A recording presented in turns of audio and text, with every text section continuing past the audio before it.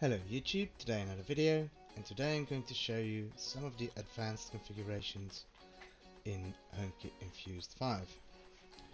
So first I'm going to show you how to set up the header.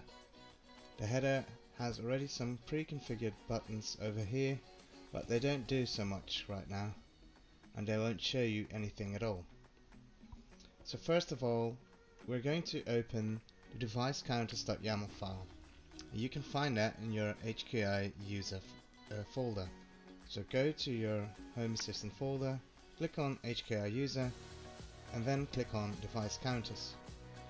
It will open up this file. It's completely empty right now. You will have to fill in your own entities. And for the sake of this tutorial, I will only fill in some lights. So let's do that right now.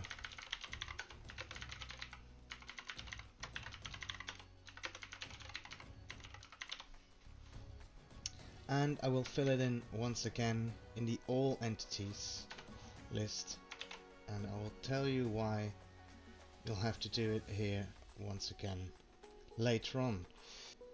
You will have to add all of your entities uh, inside of here and then define all of them in the same list over here.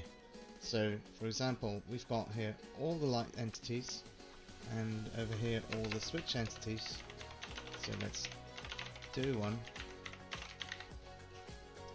And I'll add this to that list as well. Like so. Now restart Home Assistant and you will see that the buttons will now work correctly. So once Home Assistant is back up, you can see that it now shows the amount of lights and switches that are currently on. So you can see that my kitchen hood is currently on. And I've got three lights currently on as well. The reason to add it to the all entities list is if you make your view smaller which I'm going to show you right now.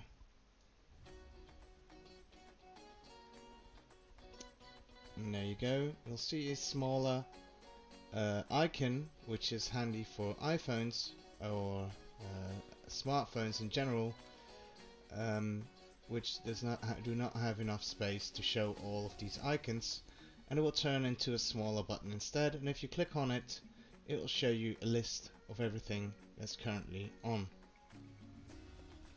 So that's how you set up device counters. Um, at the same time you can also change the alarm. The alarm is by default this uh, pop-up but you can change it as well. And for that we'll need to go to the config file. So go to your HKI user folder again click on config and then click on the config.yaml file. And in this file you will find a few uh, settings that you can't find anywhere else. So you can set up your alarm control panel entity in here. Uh, by default you'll get this one you can use that entity to automate uh, your own alarm. Uh, but if you have a different alarm setup you can change it here. Uh, if you don't have an alarm or you don't want to show the badge you can change it here and set this to false. It will no longer show this icon in the header. And the same is true for badges. You can see them here. So we've got the thermostats badges, uh, badge over here which is this one uh, I can change the icon. I can change uh, the sensor that is used uh, to show the number. Uh, I'd leave this as the default if I were you. But if you know what you're doing you can change it. Uh, the group entity is a group that we've created.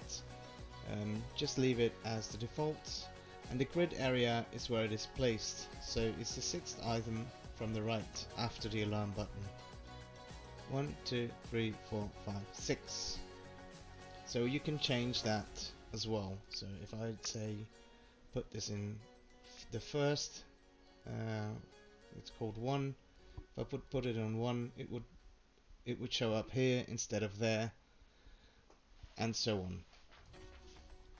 If I wanted to remove uh, one of these, I can just remove it entirely or comment it out, however you want to.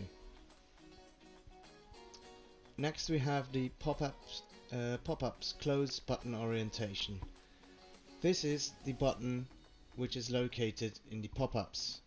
For here you can see I've placed it on the right but if you prefer to have it on the left side which is handy for left-handed people you can also set it to be on the left. This is something that you should probably not touch but you can change the color of light pop-ups in here which I will not show uh, in this tutorial. You can set up the find my add-on in here as well uh, which you can find on my repository on how to set that up. It's not really hard to do but I'm not going to show you in this tutorial because basically you can just change these entities to whatever you uh, to whatever you have and it will work for you and lastly for this file we have the profile menu. And the profile menu is really really cool. And I'm going to show you what I can do. So over here we've got the profile menu. You can see a cog right now uh, which is not really interesting. And you can see an icon right here which is not really interesting. To solve this problem or it's not really a problem but it looks a little bit a little bit better if you add an entity picture to it you go to the configuration. You click on people and zones. You click on the person. You add a picture. So in this case I'll add this picture of Mr. Bean over here. Let's do it like so. Crop it. Update it. And if I go back to the HomeKit infused uh, interface you'll see that that entity picture is now showing up over there which is pretty cool in my opinion. And if you click on it you'll also see it over here. That's pretty cool. This page can be completely customized uh, with the exception of the top uh, navigation buttons and the search bar but all the other stuff can be changed. So for example we've got the Goodnight Jimmy Saturday 12 March 2022 over here. And that's basically what is in here. The code is exactly this. You can change it to whatever if you'd like to say hello world. It will show that text instead. But we can also add cards and this is really cool because this will add um, some kind of configuration to this page. All of these cards will be inside of a folded uh, card. It's called a fold entity row and that's how we need to configure it. And how to configure stuff like this can be found on the configuration page inside of the documentation. You will find it here in the general config. So you can see you can set the alarm as you can see here. But you can also change the alarm pop-up for example which is really cool. You can change it to have your own cards. You can see the header and uh, information that we just talked about. Uh, there are some features that I didn't talk about but you can find them here. Uh, the pop-up close button we uh, we talked about that one as well. And the profile menu and this is what we're talking right about right now and which is really cool. So we can have uh, the markdown card which is already in there which is this uh, card over here hello world. And we can add cards. And to add cards we can see the options here. So for example we'll have a title called location in this case. Um, let's call it something different. Uh, markdown cards because I don't have a person entity with a location currently uh, we'll change it to uh, something like um, oh we'll leave it this like this. We can change the padding. That's how uh, the cards below will be shown. I'll just remove this. And below that we'll enter enter the cards. So it is already an entities card. That means that if you want to use a default Home Assistant card, you need to start your, your stack like this.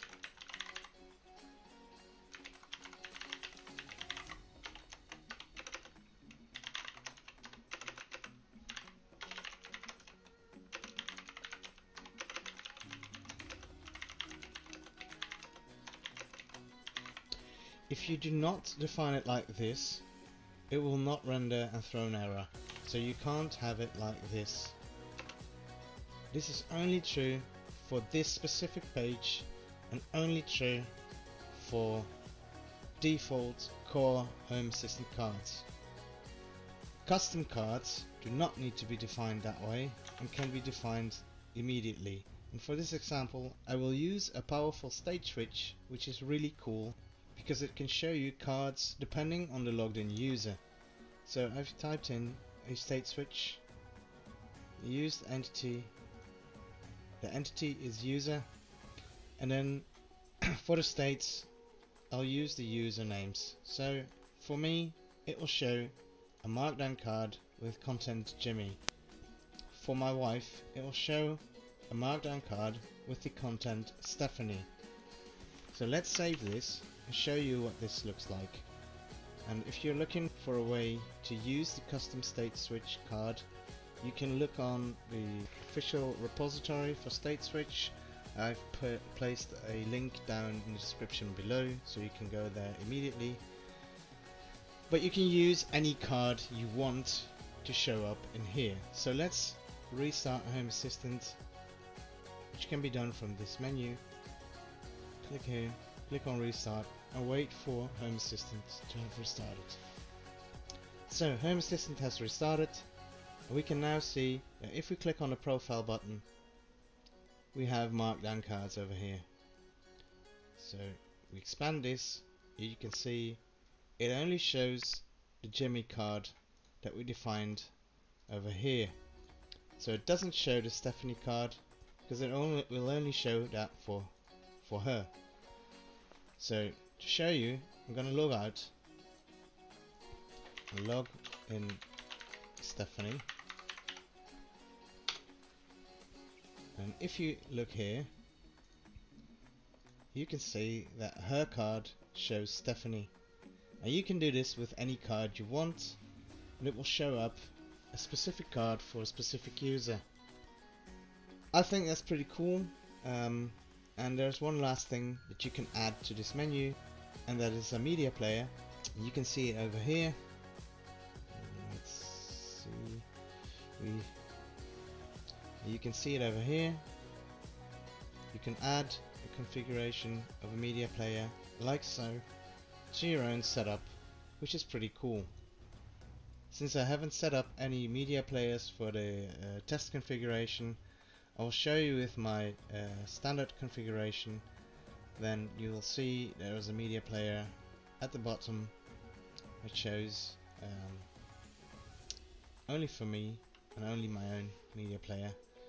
And you can also see that I've got some stuff added here as well it's like a calendar or uh, a waste calendar which is pretty cool. Uh, I've even got a Google Cast in here which is pretty pretty cool. You can do all of this uh, by uh, setting them up in the config.yaml file.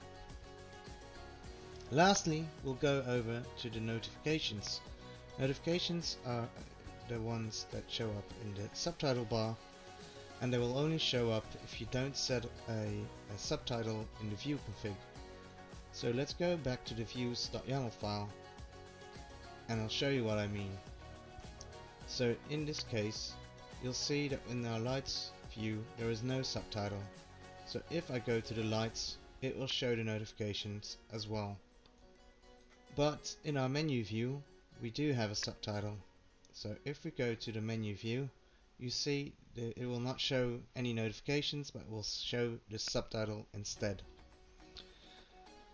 So on all views that do show notifications, we can open the notification.yaml file. And you can find that in the HKI user and then click on notifications. There is already one notification set up for you which you can see here and I will change um, this to whatever I have currently just to show you what it does. So I'll put in light dot um, so like so okay and then I'll put state on yes and then I'll add uh, the icon uh, like so, light bulb, and then the light in the office is currently on. if I save this and reload Lovelace from here, let's wait a few seconds and see what happens and then you can see the light in the office is currently on and that is because the light in the office is currently on. If I were to turn off the light it will disappear and no longer show. So you can see if I turn it back on it will show up in here and these icons can be swiped through so if you were to add another uh, another notification like so and in this case I will do a switch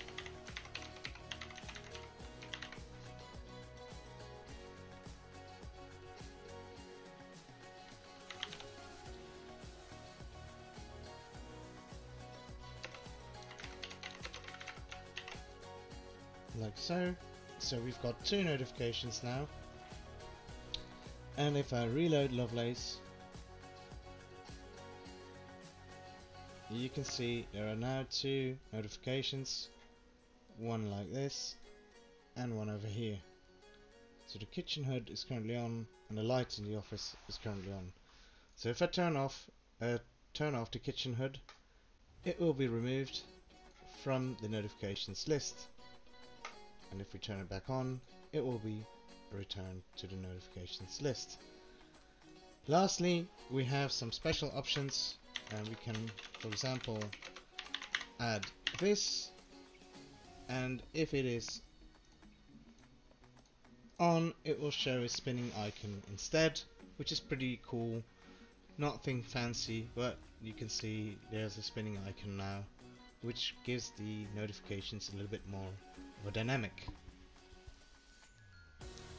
well that's it for the uh, advanced configuration. There are way way more things to do and more configurations to to change like a tap action and what it does when you click on a notification and such. But you can find all of this in the documentation. There's just way too much to, to go over and that would take hours to document uh, in a video and that would be boring I guess so um, Thank you for watching, I hope you liked this video and if you did please like and subscribe and as always have a nice day. Cheers.